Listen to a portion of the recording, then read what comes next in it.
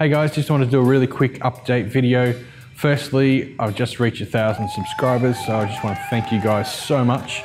Really appreciate all your support, and uh, the channel's just starting to kick off now, which is fantastic.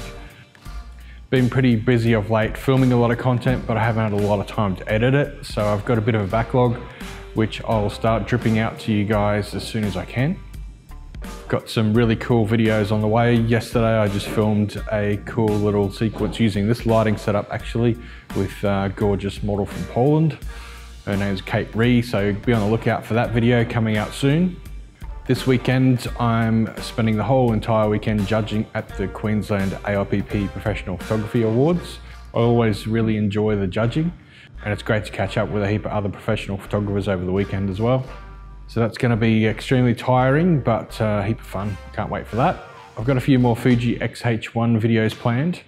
In particular, I really want to do an updated version of the continuous uh, autofocus and face detect test in uh, video mode. I'm going to do that in an outdoor environment, which is going to be a bit more tricky uh, and just see how it performs. I've just got to find a time to, um, you know, coordinate with a model and make sure our schedules align to make that happen. But that will hopefully happen in the next couple of weeks. And I'm also planning on just doing a overall impressions after using it for a month or so.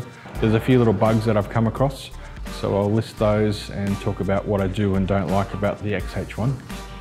But anyway, just wanted to give you that little update. Thank you again for all your support. I really hope this channel can grow into a real community. I love getting your feedback on the videos. If you've got any questions at all, just don't hesitate to ask. And uh, also, if you've got any suggestions of videos that you'd like to see me do, just uh, give me a shout out and I'll see what I can do for you. Thanks again for joining me, and until I see you on the next video, ciao for now.